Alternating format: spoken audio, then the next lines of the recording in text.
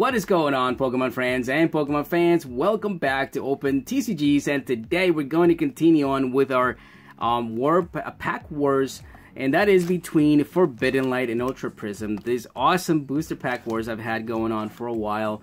Um, the first series was a success. You guys loved them so much, I had to go ahead and bring them back. And so far, so good. We've had a couple of good pulls in the previous episodes. If you guys want to go ahead and watch those videos, I'm going to put them up here somewhere in an annotation card and you guys hopefully will go ahead and watch them um, and have fun with it. Anyway, today what we're going to do is we're going to go ahead and of course as always we're going to pick up two packs, two packs from the right as we usually do and two packs from the left, okay? And then we'll put the booster packs right over here and hopefully we'll get something cool in these four little packs. This is something I usually do as a quick snacky episode and that's what I've been calling my episodes that are really short, uh, usually within 5 minutes or so. For those of you who don't want to be watching this 10, long, 10, 10 minute long videos, uh, and if you guys, by the way, uh, the giveaway announce, announcement was going on for yesterday for the giveaway I had previously going on. So if you guys haven't get, got a hold of me yet, all you gotta do is go ahead and get a hold of me on my social media links and uh, I'll be giving you your cards if you guys for some reason haven't uh, gotten a hold of me. I usually like to make an, an a announcement afterwards, maybe the second video after the giveaway announced announcement happened, just in that way you guys be um, on point. And for those of you maybe who did not get to watch the video, you guys will be reminded of that. Anyway, uh, let's go ahead and open up this pack. And while I'm doing this, I want to let you know that the code card winners are going to be down in the description box below. If you happen to see your name down below, whether it's your real name or your channel's name, all you have to do is get a hold of me on my social media links. All the links will be provided to you in the description box below this video as well as in the screen right now. And you guys, all you have to do is get a hold of me there and tell me, hey, I want some code cards and I'll be sending your code cards right away. Alright guys, today's question of the day is let me know which one is your favorite psychic Pokemon out of Forbidden Light and Ultra Prism. Let me know in the comment section below for the question of the day and I'll be picking up three winners for tomorrow's video.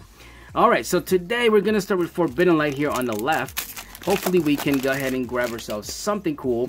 Uh, it's been pretty uh, weird. This Forbidden Light's been pretty. I don't know. I, I, I honestly I do this episodes uh, in between in between so much that sometimes I do forget what I've actually pulled.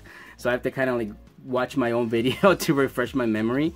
Uh, but I think Forbidden Light gave us something good on this um, war so far. I don't know. You guys can tell me down below if I'm wrong. But we'll see. Hopefully we can get something awesome at least out of this four packs. If not, we'll have plenty more chances to actually do that. And then Porter and Aurorus. That's a reverse hollow rare. Okay, that's not too bad. So we didn't get completely skunk. And a Malamar. So that's a very good, very good card actually. So not too shabby whatsoever. Let's go ahead and do a Giratina Ultra Prism. So now that I have two alternate across my gold cards, um, I'm wondering if ever I'm ever going to be able to pull the gold Solgaleo or Lunala. Um, I don't know. Honestly, it would be nice. Uh, but being that I have two alternate crossbows, that's really awesome. By the way, I think I'm going to go ahead and get the second one, whichever one looks the best. I'm going to get it graded, and that'll be my first grading of a card. Uh, I make make a video, I may not. We'll see what happens. Uh, but I do think I want to get that graded, the second one at least. The one will stay with my set just because I love to have... Hey, there we go, a Shaymin. I love to have um, every single gold card, any single, every single um, secret rare in my binder. So pretty awesome. Super excited to do that. But hopefully the gold card will come out of this side of Ultra Prism. And I don't know if it will, honestly, because I think we pulled a Volkner. Was it that we pulled out of here? I don't know. I, again, I'm really confused. Um, I don't know. I think it. I think it was out of the second opening. I think. But anyway, Keybone, Froakie, Croagunk, Espurr, Bunnelby, Hoopa, Lysandre Labs, oops, skipping cards here, a Mesprit, Crasher Wake, and a regular rare. So, um, yeah, who's excited for the shiny Charizard coming up uh, eventually? Um, definitely excited, but I don't know if we're gonna ever be able to pull that. The 500 I think it's almost 5 590 between 590 and 600 dollars is currently going in Japan for right now. Uh, that's insane. That is completely nuts.